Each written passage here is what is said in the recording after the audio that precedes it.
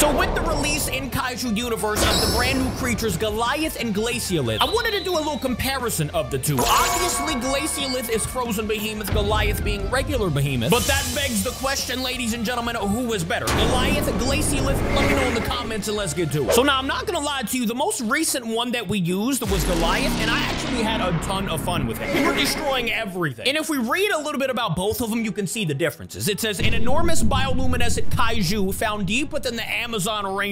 And then if we go over to Glacialith, you can see that it says, after many thousands of thousands of years, she re-emerged due to the rising global temperatures determined to halt the melting of the ice caps. And obviously they differ there, you know, coming from two different places, but how do they differ in the game? Well, as we can see here, Glacialith is a ginormous frozen ice creature who, in my opinion, looks really cool and pretty dangerous. I mean, you've got the ice spikes poking off of the arm right here. You've got the ginormous spike, you know, the horn coming out of the face. And of course, you've got that blue light kind of shining all over the body. I really do like this model of Glacialith. But then you've got the other creature who, in my opinion, might just look a little bit better. As you can see, we've got Goliath here, and I absolutely love the colors. Obviously, this isn't like a recolor or anything. You got the green slash teal popping out of the skin. Of course, the horn looking amazing as well. Which one do you think looks better? Just from a look standpoint, Goliath or Glacialith? Let me know in the comments. Me personally, I like Goliath a little bit better on the looks, but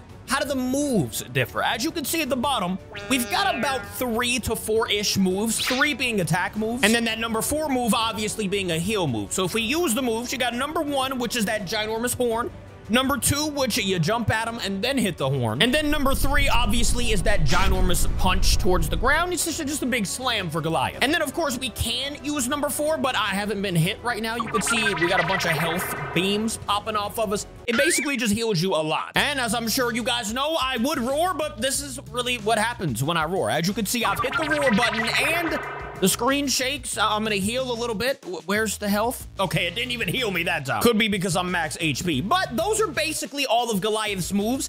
Nothing too crazy, but as you saw in our solo Goliath video, it does a lot of damage. And actually, wait a minute, we can go ahead and test that theory out. Look, he doesn't even want to fight. My boy is running. Where you going, big fella? It is Goliath behind you, man. You know, I just wanted to say hi, you know, introduce myself and also destroy your boy. Okay, yeah, there's no chance we catch this guy. He's just gonna run. He doesn't want to fight, and honestly, I don't blame him. Goliath, he's pretty nice. But here's where things get just a little bit more tricky deciding who's the best. As you saw Goliath, he had about three moves that could actually hurt somebody. And as you can see at the bottom here, my girl Glacialith, she has about four to five moves, with the Hounding Hailstorm being able to, I'm pretty sure, increase your damage.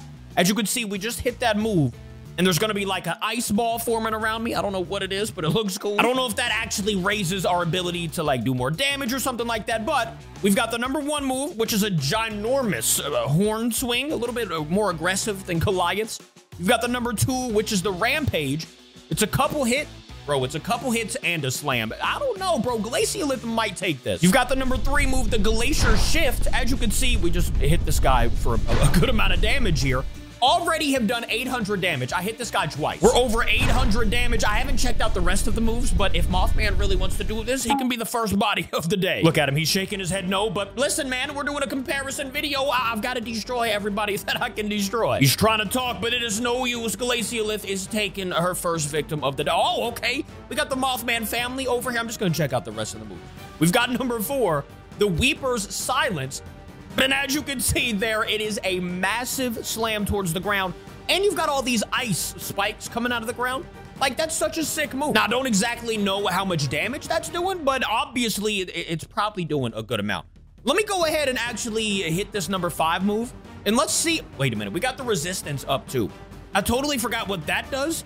But let's see. That number one just did 580, then 250 twice, which is 500. Look how fast we just dropped this Abelcross off, bro. If I hit him one more time here, there we go. That was so quick. I don't even know why people are coming over here trying to fight Glacialith right now. It's not going to happen. Mothman, you know, I like you, buddy. I like your moves and whatnot.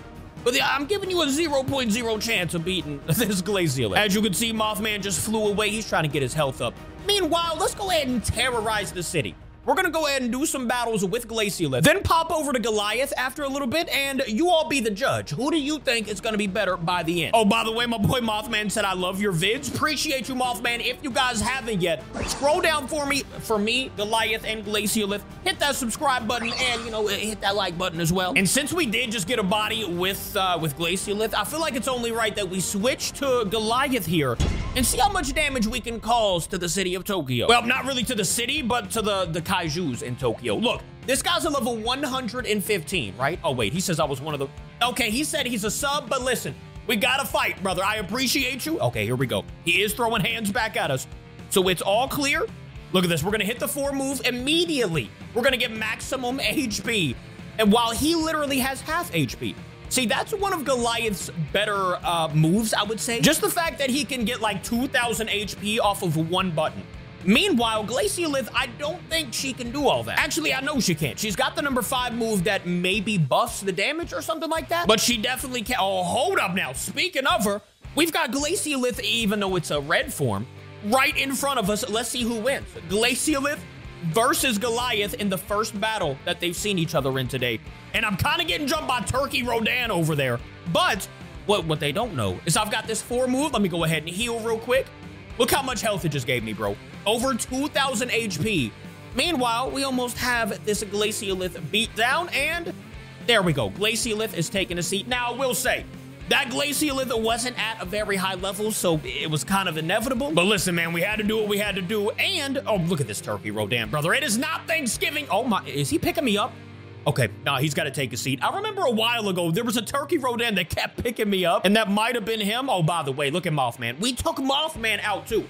You see what I'm saying about Goliath? He is just an absolute behemoth of a kaiju. And well, that kind of fits, seeing that well, he is behemoth. Anyways, we have about 3,000 HP. We've destroyed about three or four kaijus already with Goliath.